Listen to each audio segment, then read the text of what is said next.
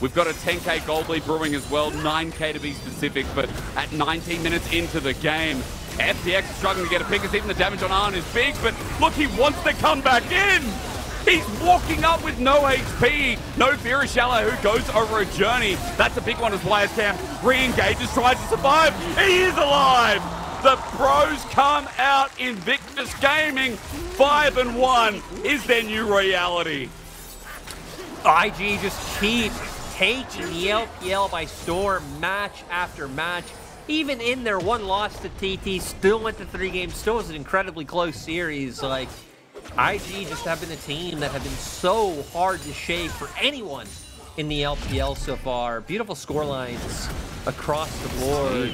As we're going to see YGM making it look like he's going to bail out, fakes Karen, gets the stun, and the floodgates open with all members of IG just running down. As, I mean, Shallow, who finds a good ult. I mean, it's great. He brings YSKM in, but still not enough damage. Sadly, there, the fog yeah. of war enough to prevent the kill, and the damage from YSKM enough to finish it off.